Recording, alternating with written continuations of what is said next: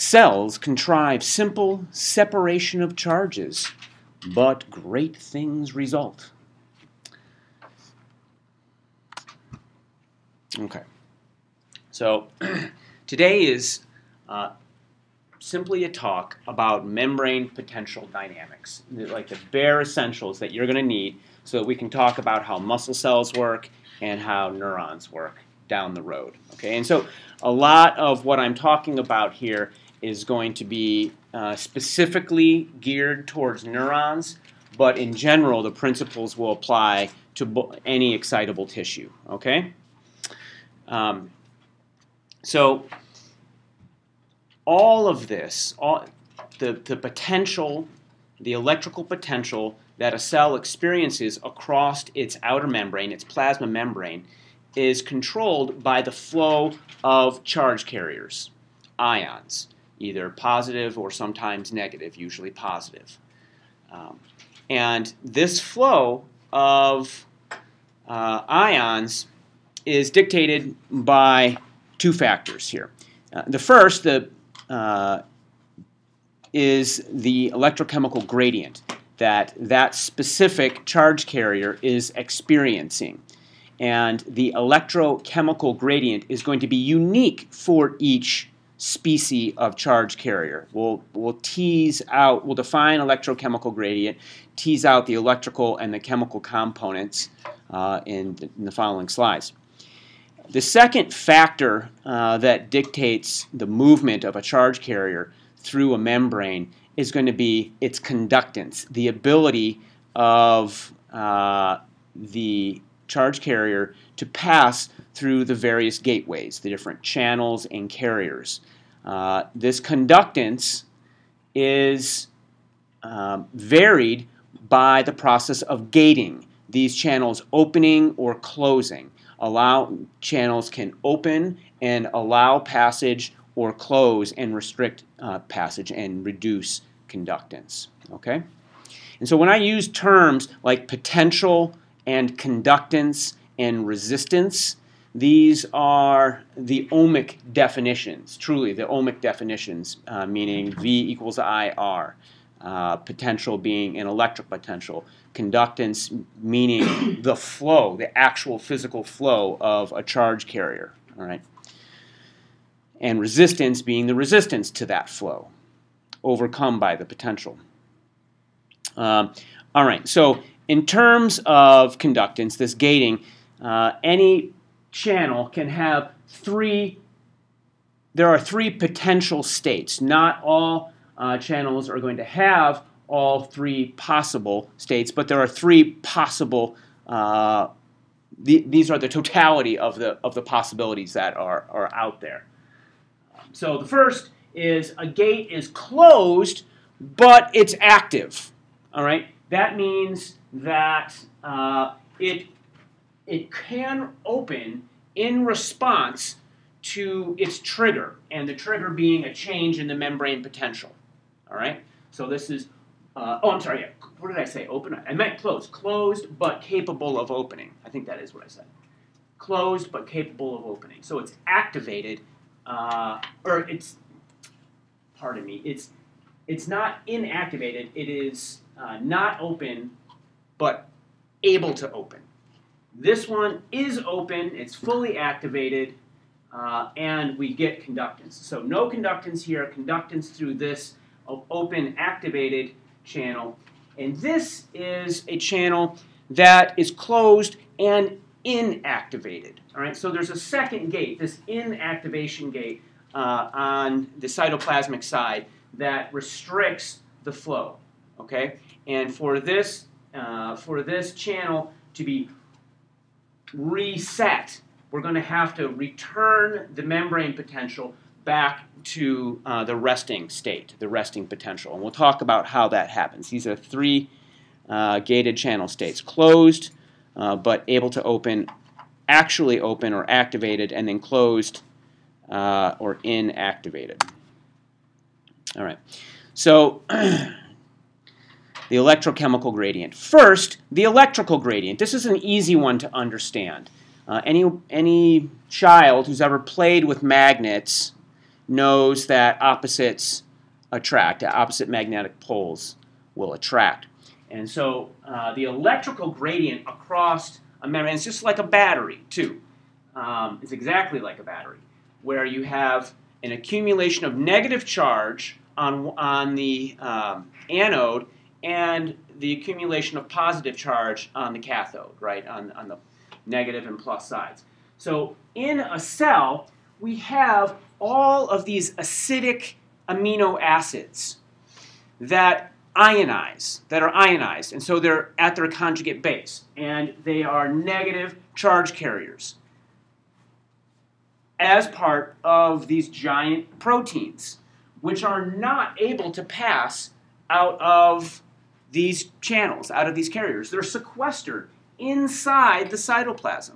There's a tremendous amount of negative charge that is uh, that the membrane is impermeable to. It's sequestered and captured. Then, if you embed proteins in the membrane who use ATP, the energy of ATP, to pump the counter uh, cations to these anionic charges on the protein out, we're going to get a separation of charge. All right, so we're using ATP to pump the counter cations to these anionic acidic um, amino acids. We're going to pump them out of the cytoplasm. And this is going to establish an electrical gradient. This electrical gradient, all these, all these positive charges hanging outside here, they feel it. They want to get back. They want to get back home. There is an electrical gradient pushing them inside. There's a, an electrical potential making them want to go back into the cell. All right? So this baseline electrical potential is called the transmembrane potential. Or the symbol we use is V sub Tm. And V sub Tm can, can change. It can change. It can vary. So the V sub Tm will change. Sometimes you see an E rather than a V. Okay? The chemical gradient is should also be uh, simple for you to think about. So if I had all of the students pack over to this side of the room, and I said, you guys wait over here, and I left the room, you are all fairly obedient students, I'm imagining. But with time, if I, if I stayed way long enough, you would begin to meander over here. Okay, or let, us not even imagine you guys. Let's imagine a room full of first graders. We stick all the first graders, and with time, they would diffuse out into the entire room. Nature abhors a vacuum. That's what a chemical gradient essentially is. All right. So with a chemical gradient here, let's look at um, let's look at sodium, right? There is a higher concentration of sodium on the outside than the inside. Forget about their ch its charge, all right? There's just more of them over here than over there. If I were to open a hole in this membrane, some of them will be traveling this way, some of them will be traveling that way but there's more of them on this side to travel this way than there are to travel back. Okay? So with time and the stochasticity of diffusion and movement, more of them are going to go this way until there's an equal number on this side uh, as to this side so that the, the forward and back passage are the same. Does that make sense? That's a chemical gradient. So the chemical gradient is unique to each of the individual species.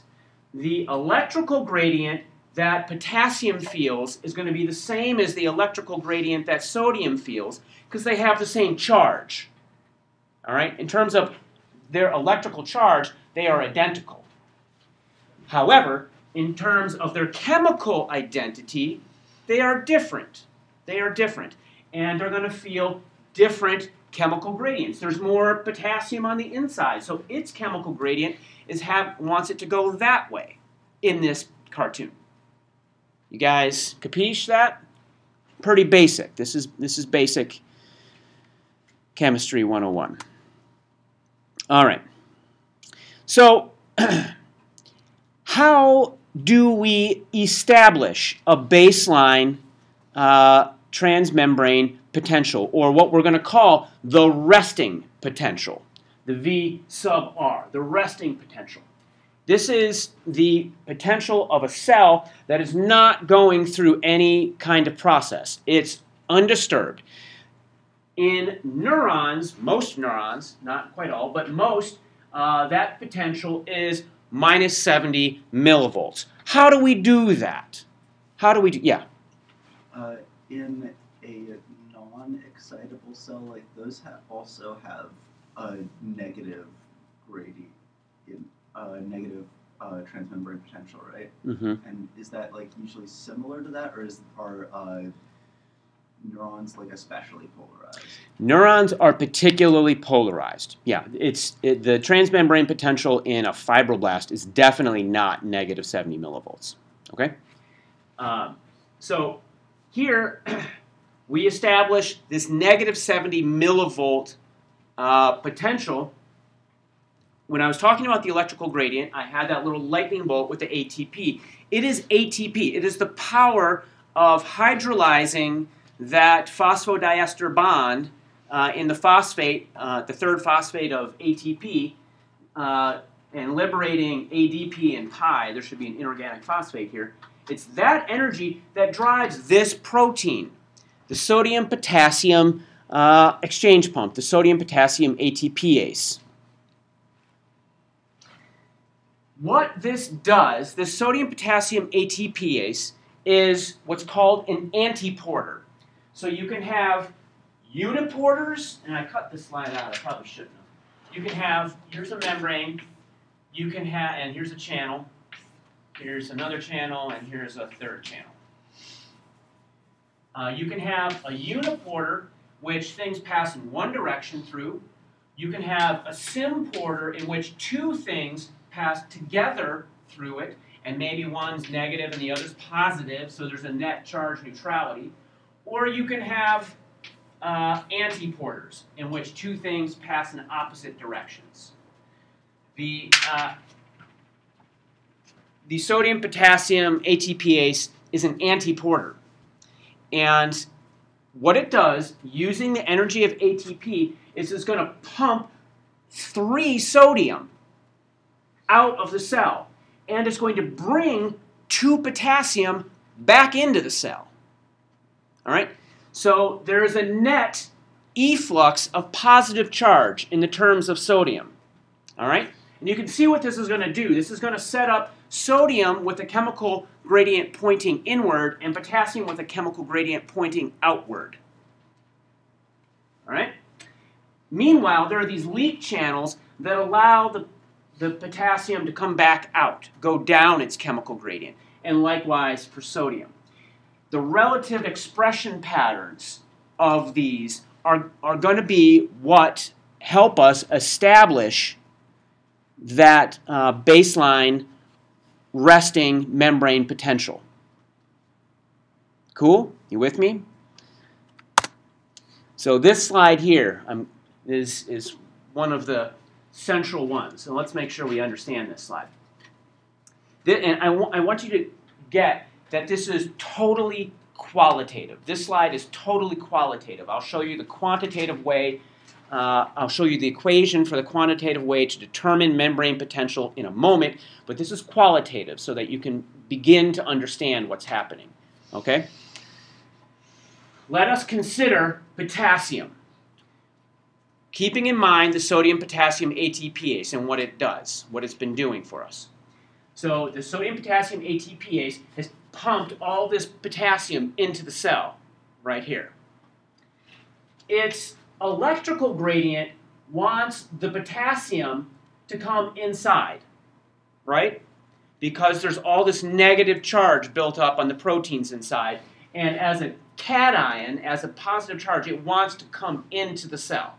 So its electrical gradient is, is pointing inside because it's a positive charge carrier. But its, its chemical gradient wants it to go outside because there's a lot more potassium inside than outside. You follow that?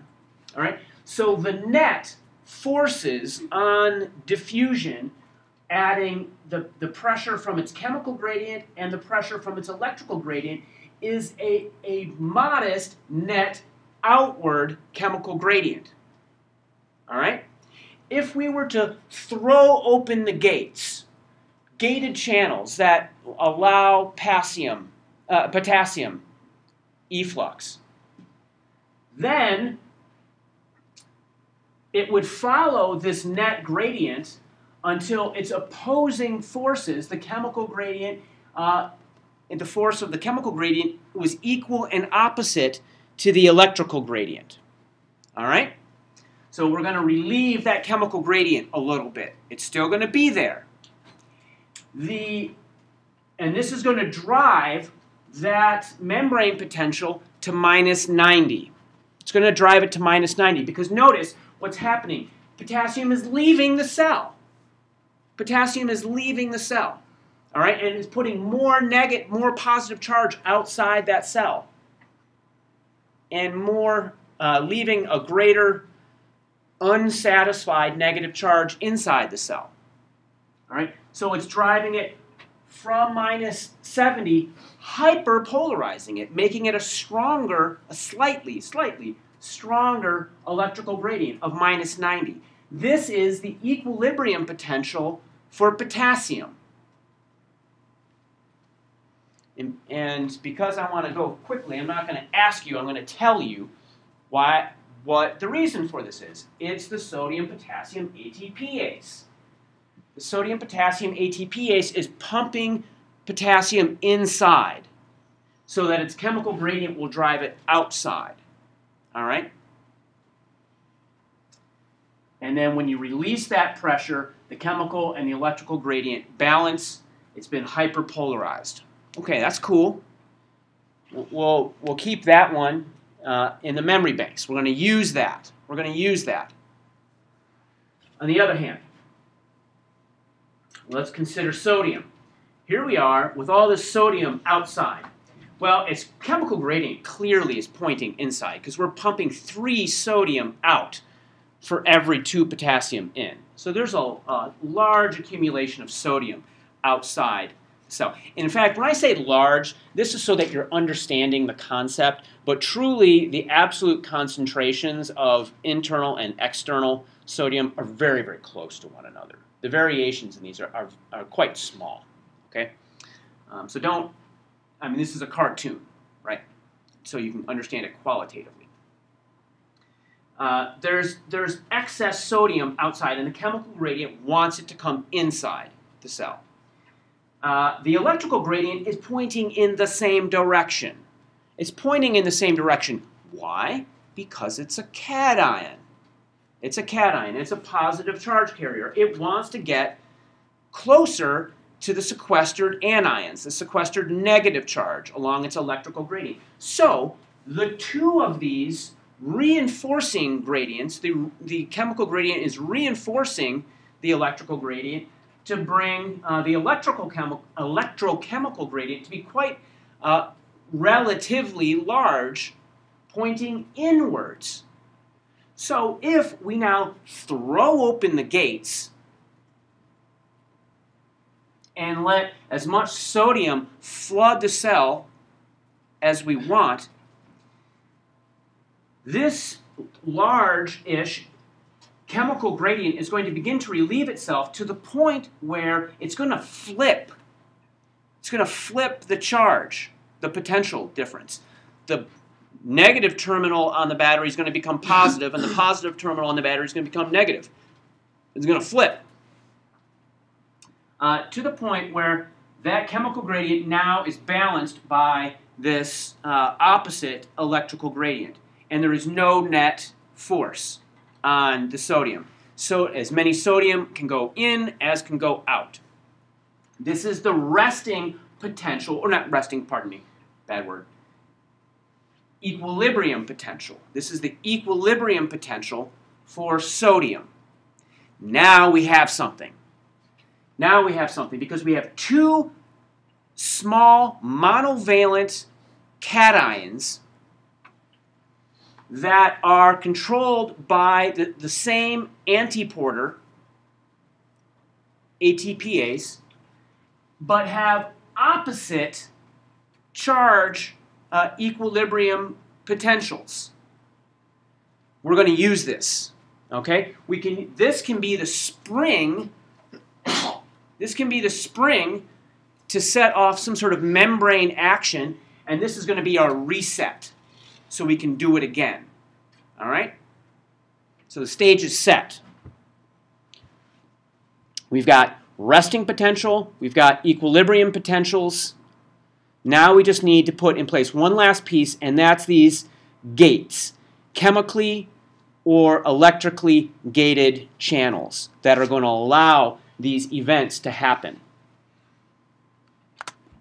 All right, so and, and I mentioned this. We you know, you, you can spend a whole class, and if you want to, you can take uh, one of the upper level neuro, neuroscience classes with Josh or somebody, uh, Dr. Martin, and he'll go through all this. But uh, this is the uh, yeah the Goldman-Hodgkin uh, Katz equation, and for determining the, the transmembrane potential at any point in time. So this, these are just some constants, the ideal gas law temperature, Faraday's constant, and then the natural log of this uh, quantity, where you have these terms, uh, which this is the concentration of some monovalent uh, anion, no, cation, pardon me, that's outside, plus its permeability, the permeability, that means how well is it able to pass, its, you know, essentially its conductance uh, through the membrane, plus uh, the anion that is opposed to it, the concentration of the anion on the other side of the membrane. That's the numerator, and then the denominator is the contrapositive terms. So permeability and concentration of that of that anion, the sum of those. So when you when you extrapolate that to sodium and potassium with chloride, uh, th this is what that this is what that uh, equation becomes. And you can use this beautifully quantitatively uh, to determine what that membrane potential is at any point in time. The guy in the middle eventually won the Nobel Prize, uh, although it wasn't for this work. All right. Oh, you know, I wanted to make this point here, and I, maybe I didn't. The, the membrane potential is determined by any ion with the greatest permeability. So that, that's the key if we want to change the membrane potential, we're going to change the permeability of that membrane to one of these ions that has a rest and equilibrium potential closest to the potential that we want to go towards. All right? So the membrane potential is going to be dictated by the ion with the greatest permeability. Does that make sense? If we're not allowing potassium to flow, but we are allowing sodium to flow, we're going to head towards its equilibrium potential, and, vice versa. Okay? So we just need to get individual uh, gates that are going to control each of these different uh, ions, and then we'll be able to control the membrane uh, potentials. Okay. Uh, yeah, and that's these gated channels. All right, so a, a gated channel uh, are going to open and close in response to stimuli. There's three types. Do I have that? Yeah, okay. The first here is uh, the chemically gated channel. And this is going to be uh, important in uh, graded potentials in the neuron, neuronal cell, uh, cell, bodies at the dendrites. This is going to be uh, important at the neuromuscular junction in muscle cells. Um, so, for example, here this would be a muscle cell you would have uh, the acetylcholine receptor as a cholinergic receptor. Acetylcholine gets released, binds, opens this baby up, and it passes right through. If you look at uh, one of these membranes, this is what they look like from from the top down. They look like these uh, sort of spring-loaded uh, structures, interleaved spring-loaded structures that are triggered by acetylcholine. Uh, there are also these voltage gated channels. And I already showed you this cartoon on the side here where we have uh, we have the activation gate and the inactivation gate. This is channel closed but receptive, uh, opens in response to the to the uh, membrane potential, and then you reach a certain potential, and the inactivation gate slams shut on it. Um, yeah. So what's the point here? These voltage gated channels, are, you're going to find them in axons, which means they're going to give rise to um, action potentials, whereas the chemical gating uh, is going to be graded potentials, and we'll hopefully get a chance to talk about that in the end of the class here. Uh, and you'll also find these voltage gated channels in uh, muscle cells, in the sarcolemma, um, etc., which we'll talk about in that chapter. The last is mechanically gated channels. We'll talk about these a little bit when we when we talk about the um, special senses like um, hearing and the vestibulocochlear system, uh, and various touch receptors as well. Uh, you deform the membrane and, and the channels open. Um, okay, so just a few uh, definitions. Depolarization is a, a decrease in the transmembrane potential. That is moving from the resting potential of negative 70 millivolts towards zero. Okay, that's a depolarization. That should make sense. Okay, that's like political utopia, Republicans and Democrats holding hands, picking daisies together. Hyperpolarization is moving away from that. Uh, it's an increase in the transmembrane potential. That would be moving towards the equilibrium potential of potassium. Uh, so away from minus 70 towards minus 90, a further polarization. Graded potential. There are two essential concepts yet that I have to give you today. And there's a, a lot of other interesting stuff that I, I, probably won't get to. But the two essential concepts are the difference between graded potentials and action potentials. Graded potentials and action potentials. Uh, and if I can't fit it all in today, we'll, we'll cover it, we'll finish it up on Monday. But uh, graded potentials, they are local. They are localized potentials that uh, decrease in intensity of uh, in, in, terms of their uh, distortion of the transmembrane potential away from the site of initial stimulus. So you're going to have stimulus at the membrane somewhere. You're going to have depolarization, and the magnitude of that depolarization is going to get smaller the further away from that point of stimulus you, you were on the membrane. I'll have cartoons that'll help with that in a moment. Um, and it says here, any stimulus that's going to open a gated channel is going to produce a graded potential.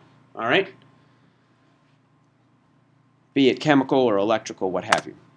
So we're going to go through it in step by step. Here we are. Uh, this is some portion of the cell body. All right? and we have all this sodium out here, minus 70 millivolts.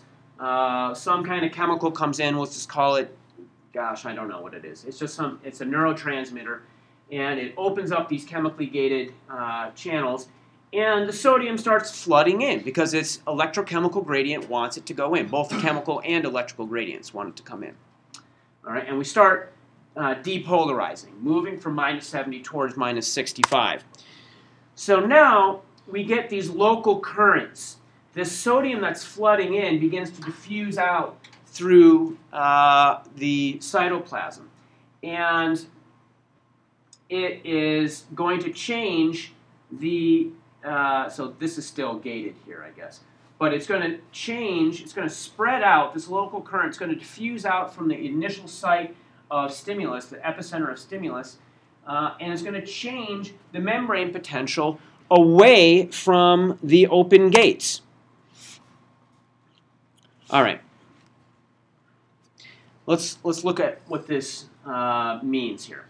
So uh, a depolarization in the graded potential. This is a, a rapid shift away from uh, the resting potential caused by the flow of sodium in this case. It causes a local current and a depolarization. So we're going to draw, this is the membrane here, and this dimension is uh, depolarization. All right, depolarization. So here I am at negative 70, and I'm going to go up towards zero.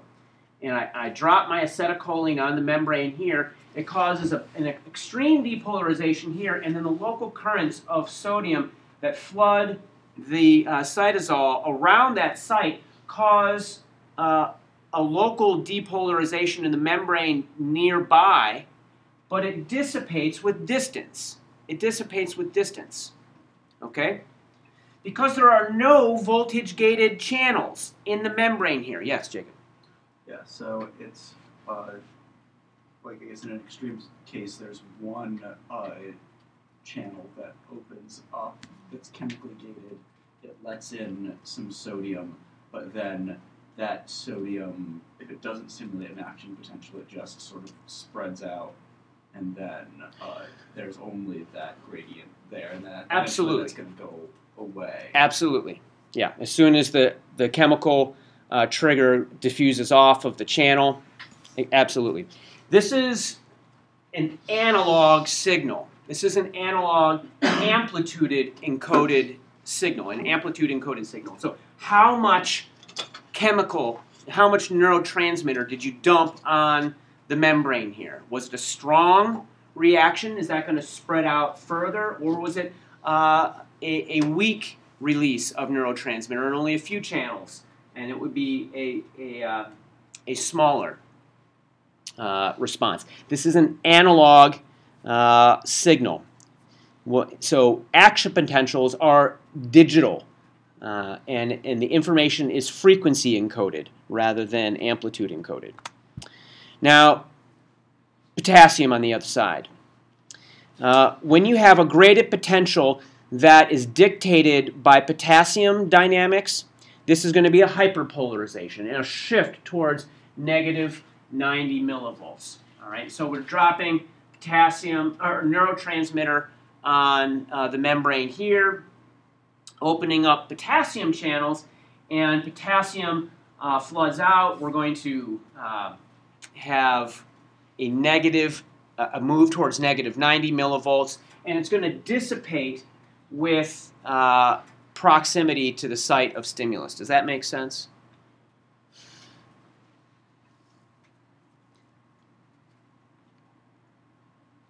Yep. So that would be something like an signal from another neuron. Absolutely, absolutely. And I unfortunately cut out all that stuff at the end of this lecture, but that's exactly what that is. Absolutely. Um, so this is just sort of a, a, a recapitulation of the same idea. Um, uh, so we have the stimulus here, and it's going to spread out from the site of that stimulus and dissipate with distance. Okay? Dissipate with distance. We are changing uh, the, the we are changing the, the current, the uh, ion current through the cytoplasm at the site of stimulus. Uh, is there any other point that I need to make? So it's a passive spread. Um, yeah, I've made all those points. I've made all those points already. So let's. I should just cut that one out.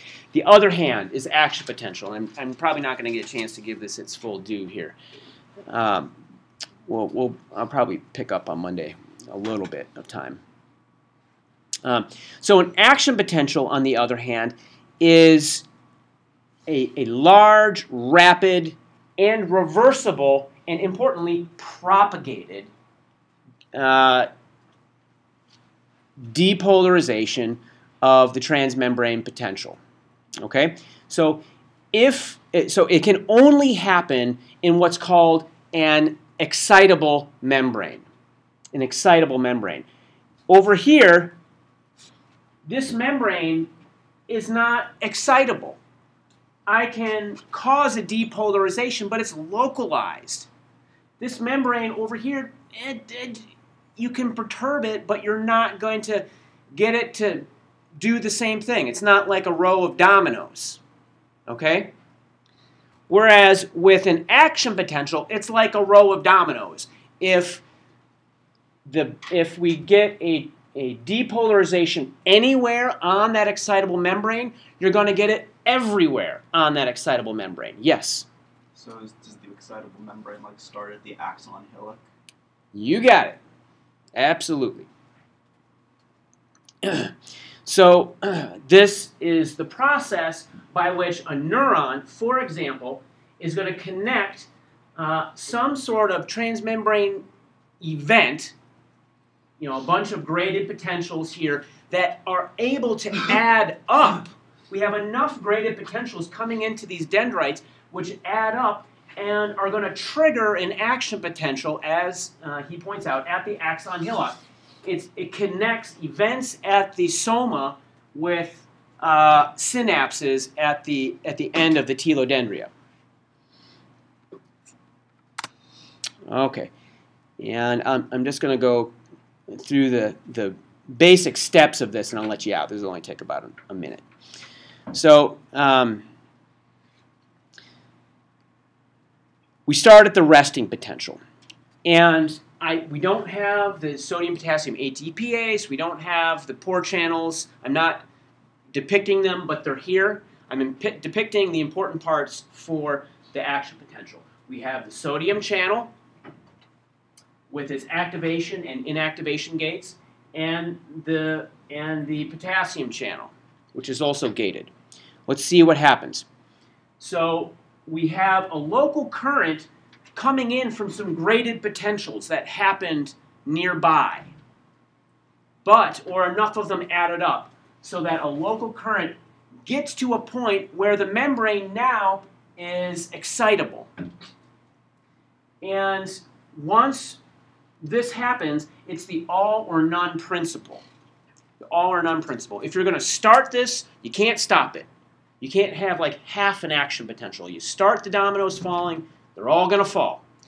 So if we get to the point where we open one of these gates, this is going to start the process. This gate's going to swing open. Sodium's going to flood in towards and drive the membrane potential towards sodium's equilibrium potential, which is like whatever that was, minus 33 or plus 33 or whatever it was. Plus 66. No, plus 66, thank you. Um, so they rush in, and uh, this membrane potential uh, changes. Oh, this is why I was thinking 30. At plus 30, however, this gate slams shut. So he's right, the equilibrium potential was plus 60, but it doesn't get there because at plus 30, this gate closes and the potassium gate opens. The inactivation gate for uh, sodium closes, and the activation gate for potassium opens up. And now sodium can't flow any longer. It can't go in and out. But potassium can. And now we're going to head, it, now potassium is the ion with the greatest, greatest permeability. We're going to head towards its equilibrium potential, which was minus 90. All right? And this is repolarization. It all floods out, uh, and we get to minus 90. This is, these doors switch. Uh, the potassium, sodium channel is now reactivated, and the potassium channel closes. All right? So there you go. That's an action potential. Uh, I will I'll clean up the loose ends. There's a couple loose ends uh, that that the quiz kind of ate into, I guess, today. But I'll get them on Monday. Um, that's that. Any questions?